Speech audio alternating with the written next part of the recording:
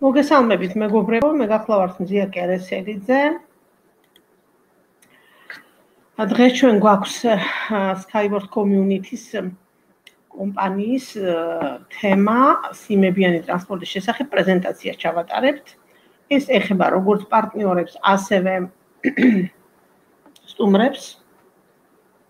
რა თქმა უნდა, სტუმრებისთვისაც და საერთოდ სისტემატურად ვატარებთ ხოლმე დღეს უბრალოდ განსხვავებულად სამშაბათი დღეა და სამშაბათს დაემთხვა ჩვენი პრეზენტაცია. ისე 20 შაბათს და პარასკევს ვატარებთ ხოლმე.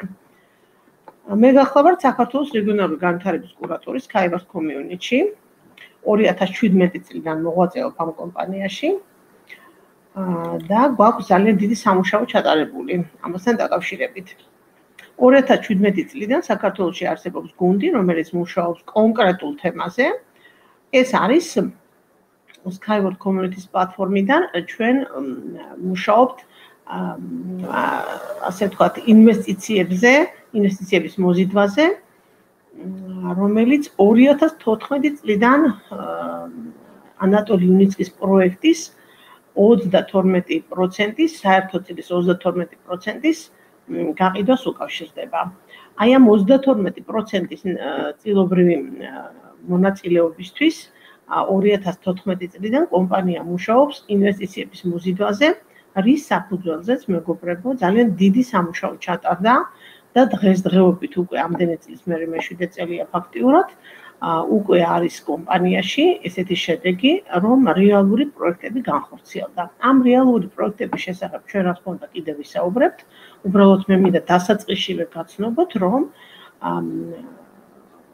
ოქტომბრის ბოლოს იწყება, ოქტომბრიდან იწყება არაბეთის ემირატებში საერთაშორისო ფორუმი ექსპო 2020-2021, სადაც წარმოდგენილი იქნება ძალიან ასეთი დიდი სერიოზული ფორმატით სიმებიანი სატრანსპორტო სისტემები სარჟას ემირატში. სადაც ამერიკის უნივერსიტეტის ტერიტორიაზე მიმდინარეობს მისი მშენებლობა. ეს არის რეალური პროექტები, რომელიც 2018 წლიდან არის უკვე დაწყებული. ეხლა მე მინდა თქვენ წარმოგიდგინოთ ძალიან პატარა ინფორმაცია, ну მოკლე ასე ვთქვათ, რომ გქონდეთ წარმოდგენა, რას ეხება ეს პროექტი, რა არის ეს სატრანსპორტო სისტემები, რისთვის არის საჭირო, რატომ იქნა მისი აუცილებლობა, ხო და დღეს რა ეტაპზე არის კომპანია. ძალიან მნიშვნელოვანია ის, რომ თქვენ ახლა ხედავთ სლაიდზე, ჯერ კიდევ საუკუნის წინ არსებობდნენ მხატვრები, რომლებსაც ჰქონდათ ასეთი მომავლის ხედვა, რომ დადგებოდა პლანეტაზე პერიოდი, როდესაც საჭირო გახდებოდა სატრანსპორტო სისტემების მიწიდან ზედა მეორე ასე თქვა დონეზე ატანა. იმიტომ რომ შეიქმნებოდა კოლაფსები, შეიქმნებოდა ტრანსპორტისგან ძალიან დიდი ასე ვთქვათ, საცობები, გადატვირთვა სატრანსპორტო გზების და ამდენად მათ ეს წარმოქმნაში ხედვაში ჰქონდათ და ეს არის ძალიან დიდი ხნის შექმნილი ნამუშევარი, რომელიც აქტუალური იყო სხვათა შორის ძალიან ჯერ კიდევ მაშინ და იყო პერიოდი, როდესაც აი ამ ნახატების, ასე ვთქვათ, ქაღალდებში კამფეტებიც კი იყო გახვეული და საზოგადოებისთვის იყო, ასე ვთქვათ, ძალიან რეალური შეიძლება ზღაპარი, მაგრამ დღესდღეობით 21 საუკუნეში ეს რეალური ზღაპარი იქცა, ეს ზღაპარი იქცა რეალობად, ასე ვთქვათ, ხო? ასეთი საინტერესო შესავალია ჩვენს პრეზენტაციას. აი მისი რეალობა, რასაც თქვენ ამ სლაიდზე ხედავთ, აი ეს არის დღეს მსოფლიოში. არის ქვეყნები, არის სატრანსპორტო გზები, საგზაო მაგისტრალები, სადაც ტრანსპორტი არის ძალიან ბევრი და არის ქვეყნები, სადაც ტრანსპორტი არის ძალიან ცოტა და ხალხს ეს არ ყოფნის.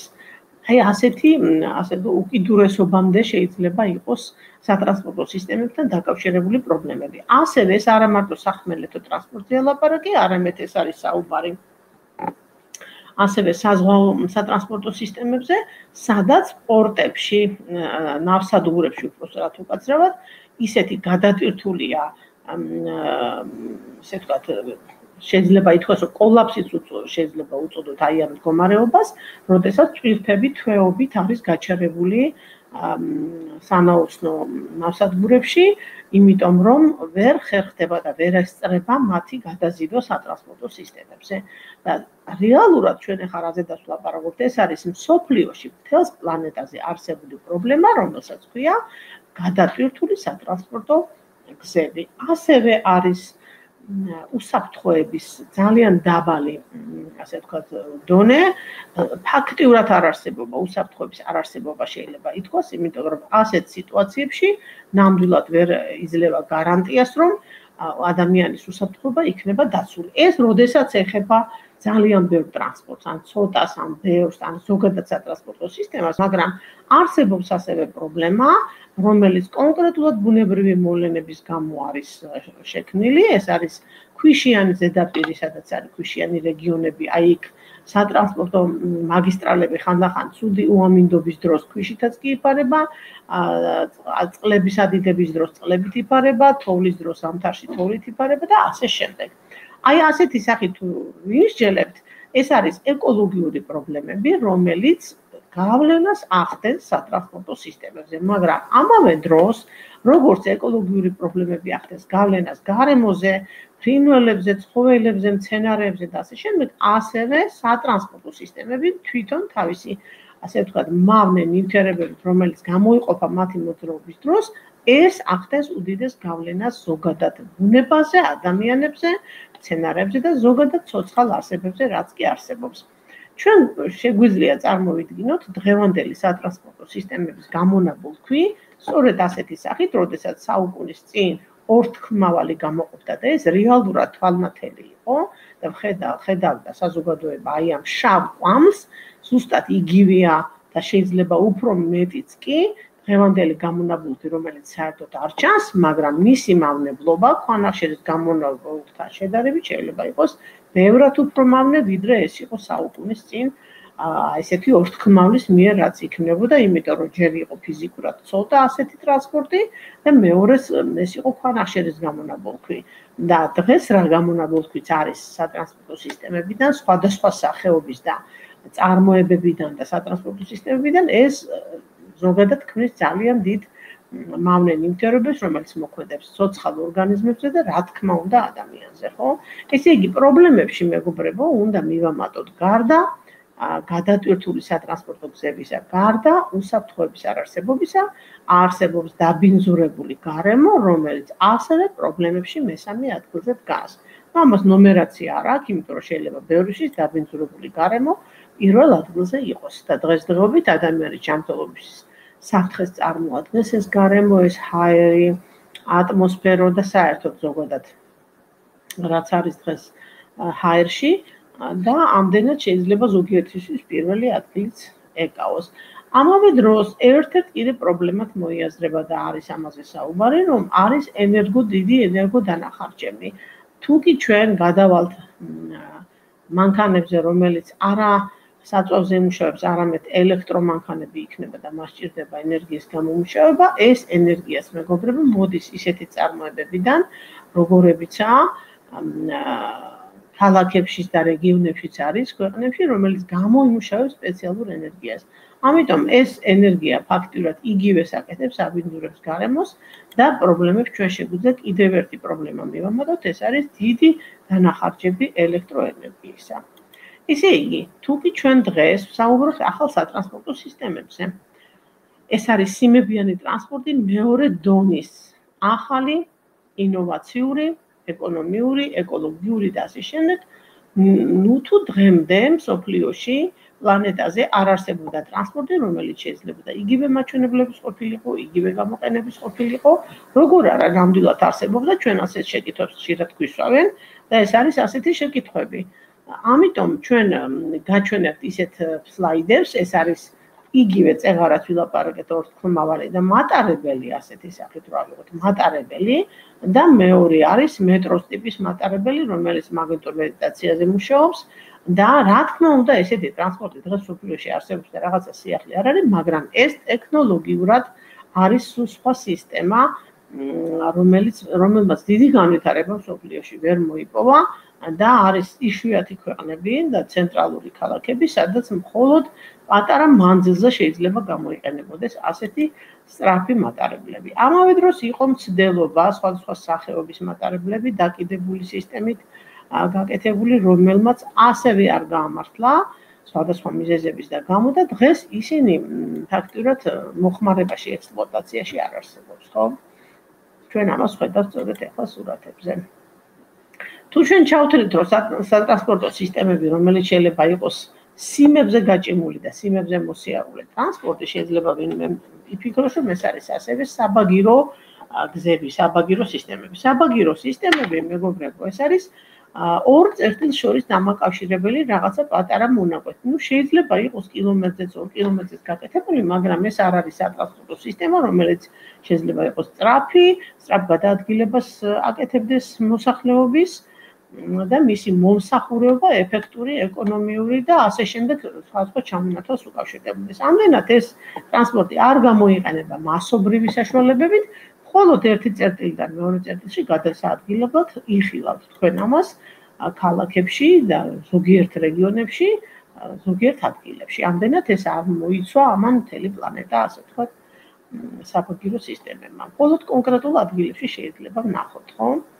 ანატოლი იუნისკის აქვს უნიკალური გამონათქვამი და ახლა მე თქვენ ამას გიქვეყნებთ, ეს არის ის, რომ ადამიანი ამბობს მეცნიერი გამომგონებელი, რომელიც ამტკიცებს ამას თავისი ცხოვრების მანძილზე და წლების განმავლობაში, რომ ჩვენ ქმნით ახალ სფეროს, სატრანსპორტო ინფრასტრუქტურულ სფეროს ინდუსტრიაში, რომელიც თავისი პოტენციალით არ ჩამოუვარდება ისეთ სფეროებს, როგორიც არის ავიაციო, სარკინიგზო და საავტომობილო სფეროები. მე მაგალითად ვთვლი, რომ ეს სფერო, რომელსაც ქვია მეორე დონის სიმებიანი ტრანსპორტი, სისტემები, აი აი კონკრეტულად ეს სფერო სატრანსპორტო ინდუსტრიაში ითქოს თავის სიტყვას ძალიან მოკლე ხანში და დარჩება ძალიან დიდ ხანს ასე ვთქვათ საზოგადოების მოხმარებისათვის. იმდენად კომფორტული და საჭირო და აუცილებელი ტრანსპორტი გახდა, მეგობრებო, დღეს მთელს მსოფლიოში და არის მასე უკვე ძალიან დიდი მოთხოვნა.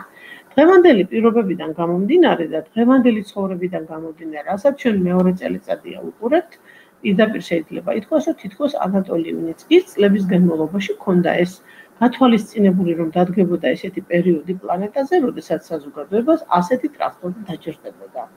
რა თქმა უნდა, ეს ერთ დღეში და ორ დღეში არ შენდება, მაგრამ სულ მოკლე ხანში გათვალისწინებულია და მოთხოვნაც ასეთი არის, არა მარტო საზოგადოების, არამედ ზოგადად მეცნიერული კვლევების და ასე შემდეგ, რომ დღევანდელი სოფლიოს, დღევანდელი პლანეტისთვის ეს აუცილებელი სატრანსპორტო სისტემებად იქცევა.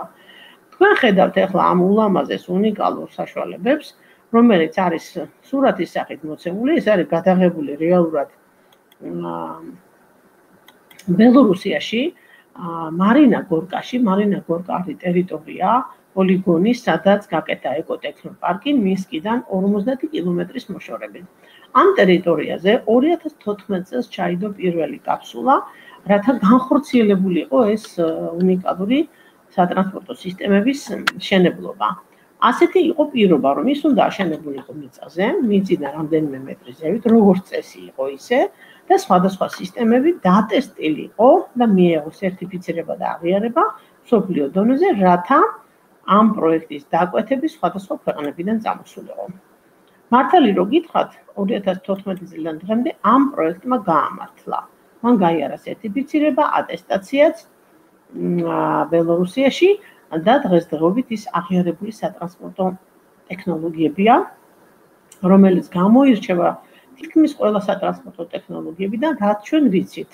თუ ჩავთვლით საზოგადოებრივ ტრანსპორტს, იგივე ტრამვაი, იგივე მატარებელი, მეტრო, ამ ამ სატრანსპორტო სისტემებიდან ძალიან განსხვავებულია და ჩვენ სწორედ ამ ახასიათებლებზე ვილაპარაკებთ.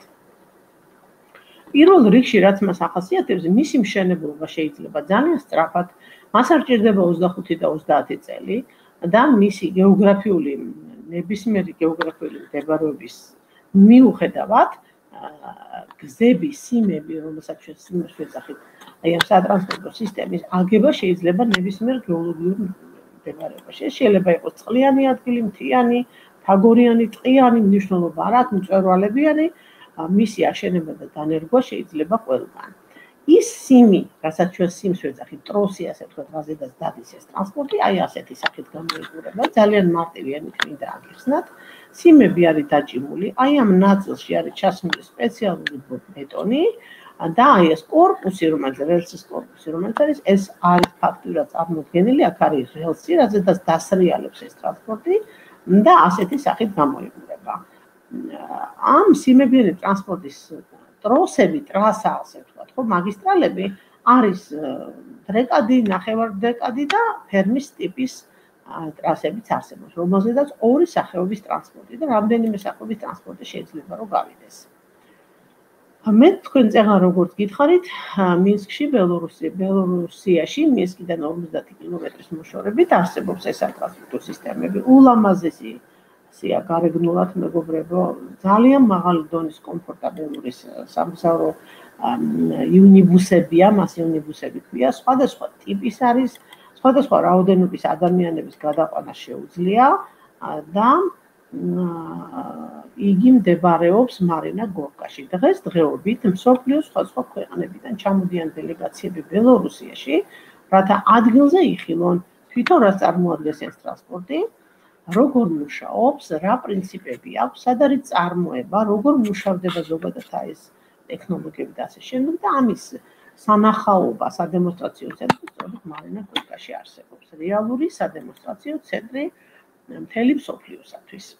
ბატონი ანატოლი ედვარდოვიჩ იუნიცკი არის ადამიანი, რომელიც დაიბადა ბელორუსიაში, არის მეცნიერი, მისი ცხოვრება ახალგაზრდობის წლები მას აქვს გატარებული მეცნიერულ ნაწილში კოსმონავტიკაში, სადაც იგი მოღვაწეობდა მთელი თავისი შეგნებული ცხოვრება, ახალგაზრდობიდან დაწყებული პარალელურ რეჟიმში იგი ახორციელებდა თავის ოცნებას, აკეთებდა ამ პროექტებს და მინდა გითხრათ, რომ დღესდღეობით თქვენ შეგიძლიათ ეს ყველაფერი იუნისკი წერტილი ინჟინერ, აი ამ საიტზე ნახოთ მისი ინფორმაციები, მისი ვიდეო მასალა და ყველაფერი რაც შეიძლება რომ გაინტერესებდეთ ამ პიროვნებასთან დაკავშირებული, დაკავშირებით მისი შემოქმედება და ასე შემდეგ, მას აქვს ნაშრომები, კოსმოსური პროექტები, რომელიც წლების განმავლობაშია დახვეწილი და ჩამოყალიბებული.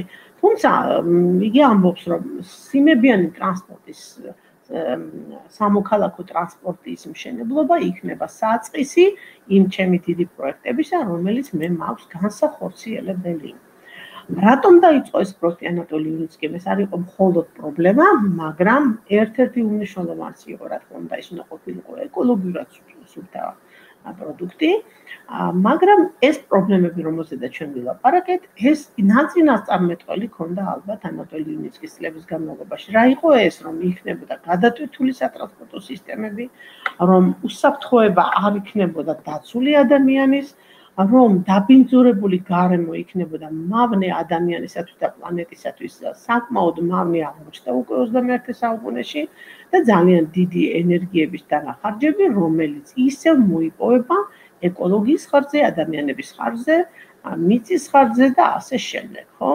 ამიტომ ეს პრობლემები არის გასათვალისწინებელი და დღესდღეობით მეგობრებო, ჩვენ გაგვაჩნია პროექტი ანატოლი იუნიცკის, რომელზედაც ჩვენ 2014 წლიდან მუშაობთ. მას აქვს ამ პროექტს აქვს ტექნიკური მონაცემების მთელი ბაზა. ის როგორც ტექნიკურად როგორ არის გამართული, რაც წარმოადგენს და ასე შემდეგ, ეს ყველაფერი შეგიძლიათ იხილოს სწორედ იუნიცკის საიტზე. და ჩვენ გავაგზავნებთ ჩვენს მინიმალურ ინფორმაციას, რომელიც შეიძლება ადამიანს აინტერესებდეს, რა სახეობის არის ეს სატრანსპორტო სისტემები, რომელიც დღეს მინსკში შეგიძლიათ ჩაგვიდეთ, იხილოთ, ჩაჯდეთ. ისე ირნოთ, ასე ვთქვა და იგრძნოთ, რას ნიშნავს სიმებიანი ტრანსპორტი, რომ იყოს დღეს ჩვენ ქალაქში. არის მაგალითად 12-14 ადამიანზე გათვლილი, არის 6 ადამიანზე საოჯახო ტრანსპორტო სისტემები, არის კიდევ სხვადასხვანაირი ტურისტულები, პატარებიც არის, ხო? აი ეს ყველა სატრანსპორტო სისტემები მეგობრებო, ის რელსი, რომელიც მე თქვენ გაჩვენეთ, ეს არის სიმი, ნუ თქვა ქართულად. როგორი სახით არის ჩაბმული, რომ მისი გადმოვარდნა, მისი ავარია, მისი ასე თქვა, რაიმე სხვა სახიფათო მოქმედებებით მოძრაობები, მას არანაირად არ შეიძლება კონდეს, იმიტომ რომ აი ამას, რასაც ახლა თქვა, რუსულად რო თქვა, მატორ კალისო ქვია, აი ეს არის ჩა ჩაბმული აი ამ რელსებში, რომელიც გადასვლა და გადმოსვლა, გადავარდნა, გადმოვარდნის საერთოდ გამორიცხულია ასეთი საფათო მდგომარეობა. თვითონ ზოგადად როგორ მუშაობს და რანაირად ტექნიკურ ნაწილზე კიდე გიმეორებ რომ შეგიძლიათ შეხვიდეთ საიტზე, იმინსკის საიტზე და იქ იხილოთ თქვენ ყველა დეტალური ინფორმაცია ტექნიკურ მაჩვენებლებზე მეგობრებო. მაგრამ არის მაჩვენებლები, რომელიც ყოველთვის ძალიან საინტერესოა, მაგალითად კაპიტალური დანახარჯები. რამდენი შეიძლება კონდეს სიმებიანი ტრანსპორტის ტექნოლოგიებს და რამდენი შეიძლება ქონდეს მატარებელს, მეტროს, ავტობუსს, მანქანას და ასე შემდეგ. აი თქვენ ამ გრაფიკიდან, ამ სქემიდან შეხედავთ და ნახავთ, რომ წვანეთ აღნიშნული არის სიმებიანი ტრანსპორტი, დანარჩენი არის არსებული, რაც გვაქვს. და თქვენ კარგად ხედავთ, რომ აი ეს კაპიტალური დამახარჯები მინიმუმამდეა დაყვანილი, საუკუნოვანი გარანტია აქვს მეგობრებო, როდესაც სხვა ტრანსპორტ ჭირდება კაპიტალური რემონტები 25 წლის განმავლობაში ერთხელ მაინც 25 წელიწადში ერთხელ მაინც ფაქტიურად აქ გამოდის რომ კაპიტალური დანახარჯები მინიმუმამდე კი არა ნულამდე არის დაყვანილი და მას აქვს ძალიან დიდი ვადა ასე ვთქვათ ექსპლუატაციისა. ექსპლუატაციის ხარჯები რა შეიძლება იყოს? ექსპლუატაციის ხარჯები, როგორც მე წერამ თქვი, არის ბევრად ნაკლები ყველა დანარჩენ სატრანსპორტო სისტემებთან დაკავშირებით. ენერგიის დანახარჯები სხვა სატრანსპორტო სისტემებთან დაკავშირებით, შედარებით ასიმებიან ტრანსპორტსა ყველაზე დაბალი ენერგიის დანახარჯი, იმიტომ რომ მიგი მოძრაობს მზისხივის ენერგიაზე, მას ჭირდება მხოლოდ სტარტისთვის ეს ენერგია და შემდეგ უკვე შეიძლება მან მოძრაოს მზისხივის ენერგიებით და ასე შემდეგ. ასევე მისი გამტარუნარიანობა, გამტარუნარიანობას ითვლიან მეგობრებო, მაგალითად საერთაშორისო აეროპორტებში, რა დროში რამდენი მსახვის გატარების უნარი აქვს ასეთ აეროპორტებს, ხო? როგორც აღმოჩნდა, გამტარუნარიანობის მხრივ სიმებიანი სატრანსპორტო უნიბუსები თუ კი ის რეალური წობრში იმუშავებენ, ისინი არიან ბევრად მეტის გამტარუნარიანობით ხასიათდება ვიდრე სხვა დანარჩენი გნებოთ ეს იყოს მეტრო და გნებოთ ეს იყოს მატარებელი. რაც შეეხება ეკოლოგიურ გარემოს, ეკოლოგიური გარემოს დაბინძურების ხარისხი მეგობრებო ჩვენ შემთხვევაში ახალი სატრანსპორტო სისტემების შემთხვევაში არის მინიმუმამდე დაყვანილი, ხო? რაც შეეხება ავარიებს, ავარიები სატრანსპორტო გზებზე, რა თქმა უნდა, აბსოლუტურად დაუცველი ადამიანის სიცოცხლე, იგივეა მატარებელზე, იგივეა საბაგიროზე, იგივეა მეტროზე. მაგრამ რაც შეეხება სიმებიან ტრანსპორტ, ავარიულობა არის ასევე მინიმუმამდე დაყვანილი მეგობრებო და ასე შემდეგ. მოკლედ, ჩვენ რომ ბევრი არ გავაგრძელოთ, ფაქტი არის, რომ მაჩვენებლები, რომელიც სიმებიან ტრანსპორტ გააჩნია, არის ყველაზე მონგებიანი, ყველაზე ეკონომიური და ამდენად მას პრიორიტეტი აქვს მინიჭებული უკვე დღეს მსოფლიოში, ხო? თქვენ ახლა ხედავთ სლაიდზე სხვადასხვა სახეობის ტრანსპორტო სისტემებს, რომლებიც დღესდღეობით რეალურად არის სერტიფიცირებული და მისი დანახვა და მისი შეგრძნება ნებისმიერ ადამიანს შეუძლია, ეს არის ასე ვთქვათ, მარინა გორკას ტერიტორიაზე ბელორუსიაში. აი ეს მეგობრებო, აი ასეთი სხვადასხვა სახეობის სატრანსპორტო სისტემები და არა მარტო ეს არის, ასევე არის სატვირთო გადაზიდვები, რომელიც სხვადასხვა ტონაჟების მიხედვით, სხვადასხვა სისტემები, სხვადასხვა გადაზიდვების და ასე ვთქვათ, სატრანსპორტო მაგისტრალების სხვადასხვა სიტუაციაში შეიძლება რომ გამოიყენო არის პატარების, დიდების ბეოტონიანი დიდი ტვირთის გადაზიდვის შემთხვევების და ასე შემდეგ. აი ეს სატრანსპორტო სისტემების ვიზუალური სურათები მეგობრებო რომელთაც შეიძლება წარმოიდგინოთ როგორ შეიძლება მოძრაობდეს ქალაქში და როგორ შეიძლება გამოიყურებოდეს ეს სატრანსპორტო სისტემები რეალურ ცხოვრებაში, ხო? რაც შეეხება ამ პროექტის სერტიფიცირებას, ტესტირებას, აღიარებას, ანატოლი უნიცკის გამოფენებზე მოღვაწეობას, 2014 წლიდან დღემდე მეგობრებო 25-მდე საგამოფენო საერთაშორისო საგამოფენო ავილიოში იყო მიწვეული ანატოლიუსკი თავის ტრანსპორტის ჩვენებისათვის და ყველა ასეთ გლობალურ დიდ სატრანსპორტო გამოფენებზე იგი მონაწილეობდა რეალური სატრანსპორტო სისტემები ჩადიოდა ამ გამოფენებზე ეს არის მხოლოდ საჩვენებელი ეს იყო მეგობრებო რეალური სისტემები რომელიც ჩადიოდა ადგილზე, ასეთი იყო მაგალითად ინოტრანსი, სადაც მე პირადადაც ვიყავი ჩასული და ეს ვიხილე, იქ მატარებლებიც კი ჩამოყავდათ ახალი სიახლე ახალი მატარებლები, რომელიც დღეს შეიძლება აქტუალური ყოფილიყო აი ესეთ გამოფენებზე. მინდა გითხრათ აქვე, რომ ჩვენი პავილიონები ყოველთვის იყო ძალიან დიდი ინტერესის ადგილი და ამ გამოფენაზე აღმებულებოდა ასეთი ქვეყანა და ასეთი წარმოებელი, რომელსაც არ ქონდა ნანახი ეს სისტემები, იმიტომ რომ დღეს მსოფლიოში ეს უნიკალური სატრანსპორტო სისტემები ყველასთვის საინტერესო გახდა მეგობრებო. ამქედან გამომდინარე მას აქვს ბევრი ჯილდოები, დიპლომები, სერტიფიკატები, აღიარებები და აი ეს არის სწორედ ის მაჩვენებელი, რომ დღეს ეს სატრანსპორტო სისტემები რეალურად ხორციელდება და თანაც ისეთ ქვეყანაში, რომელსაც სოფლიოში პირველობაზე აქვს პრეტენზია, ხო ასე ვთქვათ. დღეს ქალაქ მინსკში არსებობს ძირითადი ცენტრალური ოფისი, ეს კიდევ ძველი შენობაა.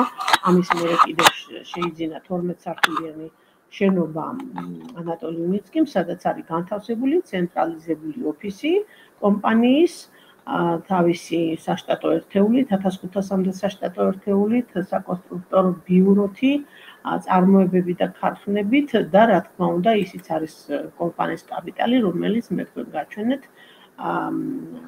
პოლიგონი მარინა გორკაში, რომელიც არის საკუთრება დღესდღეობით არის ამ კომპანიის საკუთრება და მის კაპიტალში ითვლება, ხო?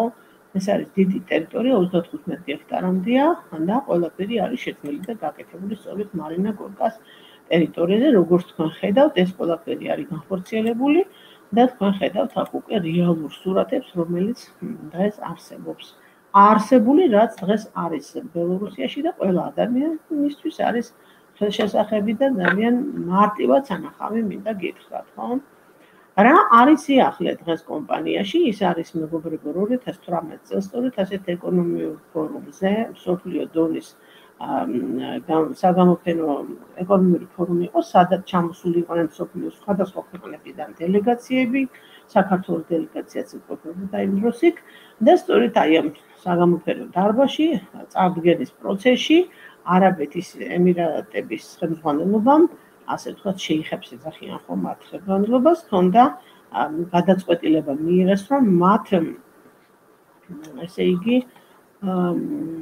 ხელი მოეწერათ ამ მემორანდუმზე, რომ პირველი პროექტი მსოფლიოში უნდა განხორციელებულიყო მხოლოდ და მხოლოდ უნდა განხორციელებულიყო პირველ რიგში უნდა განხორციელებულიყო სწორედ არაბეთში. კონკრეტულად იყო ლაპარაკის არჟის ტერიტორიაზე ამერიკული უნივერსიტეტის სფეროში, სადაც გადაადგილება მოხდებოდა სწორედ აქ არის ახლა ამ სურათებზე ნაჩვენები სწორედ ამ სატრანსპორტო სისტემებით, ამიტომ ამ ტერიტორიაზე, სადაც ამერიკული უნივერსიტეტი არსებობს, პირველი დაიწყეს ამ სატრანსპორტო სისტემების მშენებლობა და განხორციელება და ექსპლუატაცია. თქვენ ხედავთ ახლა უკვე აქ 2019 წელს გადაღებულ სურათებს, სადაც პირველი კილომეტრაჟები ჩაბარდა და საჩვენებლად იყო გაშვებული, სადაც მთავრობა, ხელისუფლება თუ ასე ვთქვათ, შეიხები იყვნენ ჩამოსულები და ნახეს აი ეს განხორციელებული ტრასები. ამავე დროს მეგობრებო ანატოლი უნიცკის გარდა სიმებიანი ტრანსპორტისა, აი ესეთი უნიბუსებისა და ამ მაგისტრალების გარდა აქვს ეკოსახლების მშენებლობის თქოს ერთ-ერთი მიმართულება. ეკოსახლების მშენებლობასთან დაკავშირებით სარჟაში განხორციელდა სწორედ ასეთი ეკოლოგიური სახლის გასწევოი დონე ქვია, ესე იგი ეკოლოგიური სტუმრების სახლის მშენებლობა, სადაც დაცული იყო აბსოლუტურად ეკოლოგიური პირობები და მათ ამ სახლის მშენებლობა განახორციელეს სარჟაში ამერიკული უნივერსიტეტის ტერიტორიაზე. თავისი გამწვანებებით და აი ქვიშიან ნიადაგზე, სადაც არის სასწაულის 60 გრადუსამდე სიცხე და გასაგებია იქ ხის მასალას არანაირად არ იყენებენ ანატოლიუსი თავისი ეკოსახლი სასტუმრო სახლი აგო სწორედ აი ამ ქვიშაზე ამ ქვიშიან ნიადაგზე და მან ოაზისი შექმნა მეგობრებო გამწვანების ოაზისი საიდან მოხდა ეს? იქიდან რომ დღეს ეკოტექნო პარკში გარდა იმ სისტემებისა რაც არსებობს არსებობს კიდევ გომუსი რომელსაც ისინი აკეთებენ და აი ეს გომუსი დღეს იქნება მთელი სოფლიოსთვის ასე ვთქვათ, საჭირო და აუცილებელი ნივთიერება, ნიადაგი, რომელსაც სადაც არ უნდა წაიღოთ ეს ნიადაგი, იქ შეგიძლიათ შექმნათ გამწვანებული სისტემა და ეკოგარემო.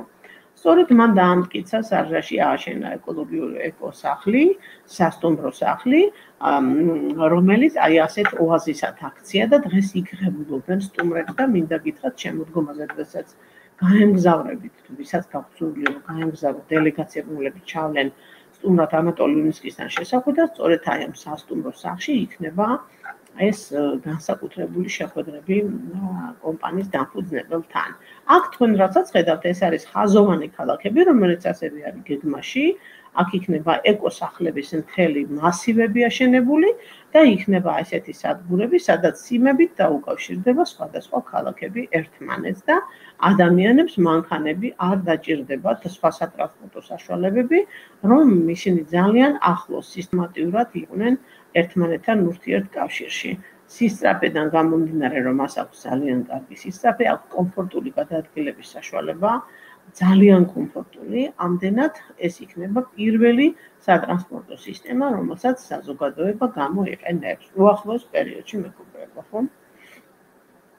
მოდით დაუბრუნდეთ ჩვენს პრობლემებს, უკაცრავად ჩვენს მონაცემებს, მაჩვენებლებს, რას ნიშნავს სიმებიანი ტრანსპორტი, რატომ მაინც და მაინც კაივეის აი ეს უნიკალური გამოგონება და ინოვაცია ანატოლი იუნიცკის. რატომ? იმიტომ რომ ის არის ინოვაციური, იმიტომ რომ ის არის მიწის ზედა, იმიტომ რომ ის არის ბევრად სწრაფი ვიდრე სხვა ტრანსპორტი, რომ ის არის აბსოლუტურად უსაფრთხო ვიდრე სხვა სატრანსპორტო სისტემები, ის არის ძალიან ეკონომიური თავისი ენერგოდანახარჯებიდან გამომდინარე, რომ მას ენერგოდანახარჯები ფაქტურად არ აქვს და მზისხივის ენერგიებზე მუშაობს.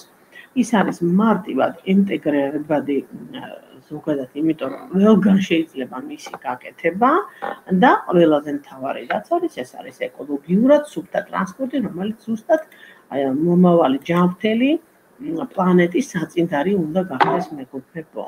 ჩვენ ახლა გადავიდეთ მეორე ნაწილზე, რომელსაც ქვია ჩვენი საპარტნიორული პროგრამა და არა მარტო პარტნიორული პროგრამა, არამედ მე მინდა გაჩვენო სქემა.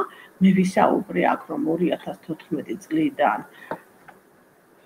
არსებობს ეს პროექტი, უკვე დაწყებულია 2014 წელს პირველი კაფსულა ჩაიდო აი ამ ტექნოპარკის პოლიგონზე მარინოგორკაში და იქიდან მოყოლებული 15 ეტაპად იყო დაყოფილი. თვითოულ ეტაპზე მეგობრებო განსაზღვრული რაოდენობა სააქციო პაკეტებისა იყიდებოდა. ვერაფრით ვერ იყიდიდა მაგალითად ერთ პიროვნულად ვინმე მეცენატი და ჩადებდა ძალიან დიდ ფულს, რომ თქვა ყველა აქცია ერთდროულად შეწყვიტა, ეს იქნებოდა შეუძლებელი, იმიტომ რომ მისი გაყიდვის უფლება კომპანიას ჰქონდა მხოლოდ ეტაპობრივად, ესე იგი 2014 წელს პირველი ეტაპი იყო, მეორე, მესამე და ასეთი სახით 2020 წელზე წელში 20 წელში 25 ეტაპზე უნდა გადასულიყავით, ხო? თქვენ წარმოიდგინეთ, დღეს ვართ 21 წელში, ფაქტიურად მე-15 ეტაპზე ვართ, თითქმის მე-14-ის ბოლო ნაწილზე ვართ და აი ამ ხნის განმავლობაში ეტაპობრივად იყიდებოდა სააქციო პაკეტები, ის წილი, რომელიც რომელიც საშუალებას აძლევდა ნებისმიერ აქციონერს და ინვესტორს ყოფილიყო თანამონაწილე სიმებიანი ტრანსპორტის ტექნოლოგიებისა. ჩვენ ვართ მეგობრებო ფლობელები იმ საინვესტიციო პაკეტების, რომელიც არის ტექნოლოგიები, ტექნოლოგიებში თანამონაწილეობა. თქვენ მოგეხსენებათ, რომ ტექნოლოგია ეს არის ისეთი ნაწილი პროექტის, რომელიც არის ძირითადი ნაწილი და სადაც არ უნდა აშენდეს ეს პროექტი, ეს იქნება კერძო პროექტი თუ ეს იქნება სახელმწიფო ბიუჯეტით დაფინანსებული ინფრასტრუქტურული პროექტი, მნიშვნელობა არ აქვს ტექნოლოგიები ყველგან მონაწილეობს და ჩვენ ყველანი ვისაც გვაქვს ტექნოლოგიების აქციები შეძენილი, ჩვენ მონაწილეობთ ყველა ნაწილში, მეგობრებო, სადაც არ უნდა აშენდეს, ხო?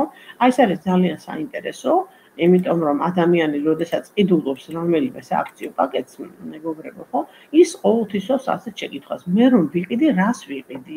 რა არის ჩემი წილი? ვინ ვარ? მე თქვენ ხართ ინვესტორი როდესაც ყიდულობ საინვესტიციო პაკეტს რამდენი ფლობელი ხართ თქვენ ეს პაკეტში გიწერიათ მაგალითად რომ ავიღოთ 5750-ის ფლობელი 13000 აქციის ფლობელი 31000 აქციის ფლობელი, 66000 აქციის ფლობელი, 150000-ის ფლობელი, 450000-ის ფლობელი, 1.200.000-ის ფლობელი, 2.500.000-ის ფლობელი.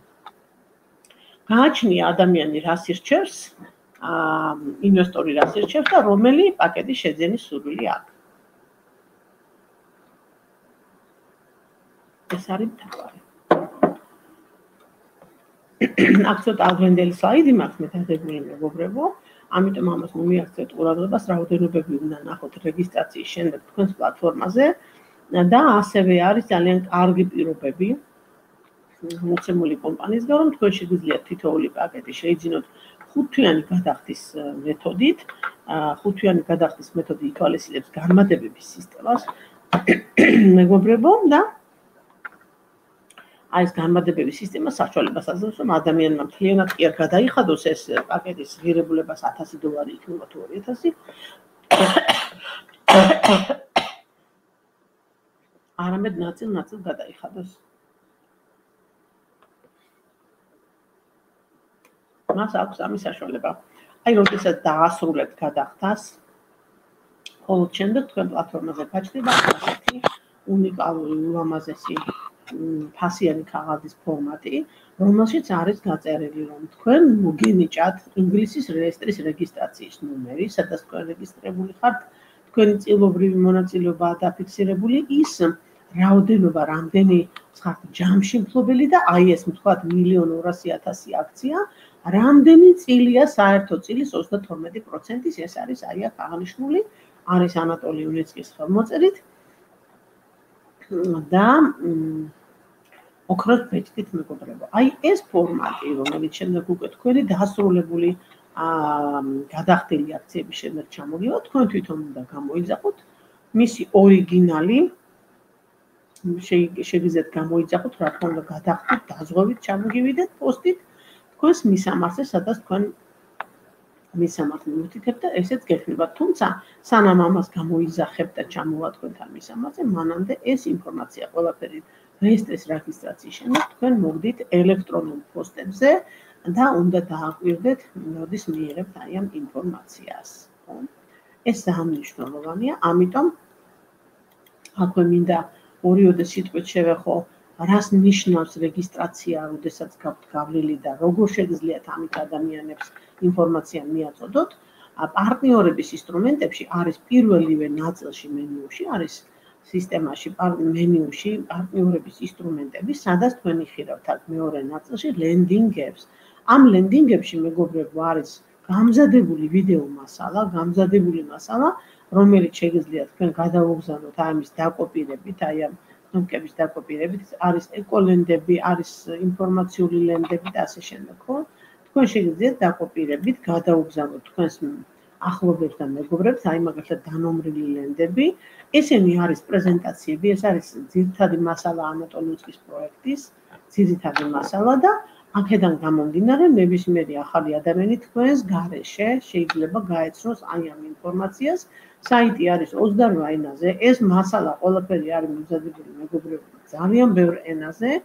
ნებისმიერ ქვეყანაში ნებისმიერ კლიენტ შეგიძლიათ მიაწოდოთ აქედან ინფორმაცია დააკოპიროთ და პირდაპირ ჩაუგდოთ იმ საინფორმაციო პლატფორმაზე, სადაც მას აინტერესებს სოციალური ქსელები იქნება თუ რაც იქნება და თქვენ მას გაუგზავნოთ ეს ინფორმაცია. ამავე დროს ეს ნიშნავს, რომ თუ კი ის ადამიანი რეგისტრაციას გადაწყვეტავს, რეგისტრაციით ეს ადამიანი პირდაპირ თქვენ სისტემაში ხდება. ასე გამოიყურება ეს ლენდები, ნახეთ აქ არის რეგისტრაციის ნიშანი.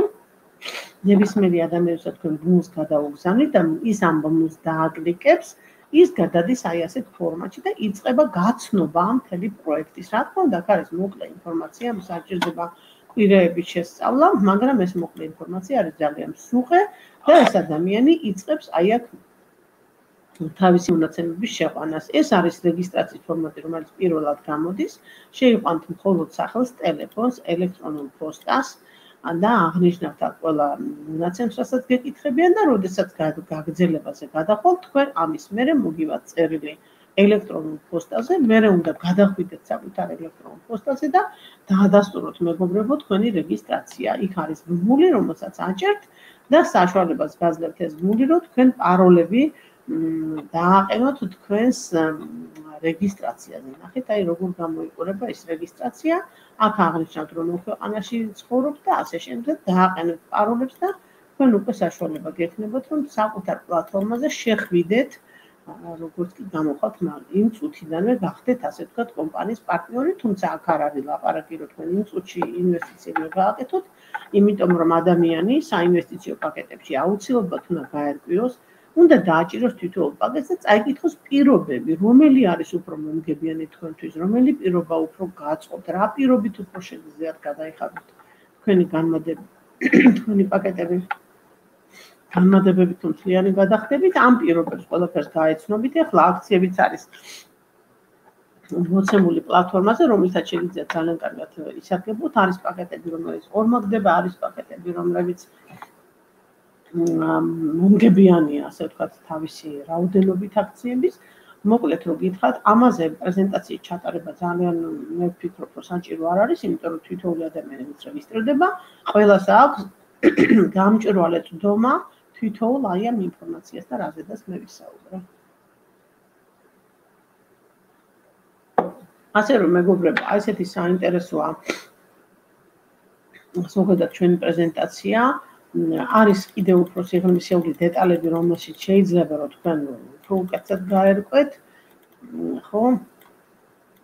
დეტალებში შეხვიდეთ და დაინტერესდეთ, მაგრამ თუ კი თქვენ რეგისტრაციას არ გაივლით ამ პლატფორმაზე და არ შეხვალთ თქვენ საკუთარ პლატფორმაზე არ გაეცნობით ყველაფერს, რაზედაც ან დაწუკლებით, რაზედაც მე ვილაპარაკე, რა თქმა უნდა, ამაზე ვერ ჩამოყალიბდება ადამიანი. ამიტომ მე თქვენ გისურვებთ პირველ რიგში, რომ თქვენ გამოგზავნილ რეფერალურ გუნდებზე შეხვიდეთ, დააჭიროთ, გააკეთოთ რეგისტრაცია და ამ რეგისტრაციის შემდეგ დაიწყოთ არჩევა საინვესტიციო პაკეტების. გამომდინარე იქიდან, რომ ჩვენ ვიმყოფებით თითქმის ბოლო ნაწილზე, არის ჯერ კიდევ საშუალება, რომ შენებლობის პარალელურ რეჟიმში თქვენ შეძლოთ ამ ტექნოლოგიების აქციების შეძენა, ეს არის პარალელურ რეჟიმში ძალიან იშვიათად ხდება გაკოფრებო, ან კეთდება ინვესტიციები მანამდე სანამ როცა რაღაცა რეალიზაციაში, ან თუ არის რეალიზებული სატრანსპორტო სისტემა, მისი აქციების ღირებულება ძალიან ძვირია და ასე ვთქვათ, უკვე ბირჟაზე შეიძლება იყოს.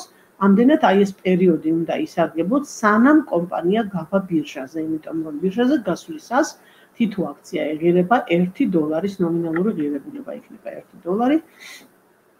როდესაც თქვენ დღეს შეგიძლიათ პაკეტში, თუნდაც 500 დოლარად, 1000 დოლარად, 2000 დოლარად შეიძინოთ დიდი რაოდენობის ათასობით აქციები, მაგალითად 5000, 7000, 16000, 33000 და ასე შემდეგ, ხო? და თუ თქვენ ამას გადაამრავლებთ ნომინალურ ღირებულებაზე, კარგად მოგეხსენებათ, მინიმუმ ბირჟაზე გასვლის მომენტში თქვენ იქნებით არა 33000 აქციის ფლობელი ხართ, არამედ 33000 დოლარის ფლობელი ეკვივალენტი კურსის მიხედვით, ხო? აი ასე ესეთი არის მეგობრებო ჩვენი პირობები და ჩვენი შეთავაზებები. დაწურლებით ინფორმაცია და კითხვა-პასუხის რეჟიმში ჩვენ გვაქვს ხოლმე Zoom-ის პლატფორმაზე. კვირა დღეს საღამოობით ყოველ კვირას არ გვაქვს, მაგრამ როდესაც გვაქვს ჩვენ ამას ვაქვეყნებთ. ეცადეთ რომ რეგისტრაცია გაიაროთ, გაეცნოთ ამ ინფორმაციას და დაწურლებით ინფორმაციისთვის კიდევ დაესწროთ ჩვენს პრეზენტაციებს. ასე რომ დიდი მადლობა დღევანდელი სვენელებს. ვინც დაესწარეთ და მოიცნეთ და მინდა დაგემშვიდობოთ შემდეგ პრეზენტაციამდე ან კვირა დღემდე, როდესაც ჩვენ Zoom-ში ჩავატარებთ ბრიფინგს.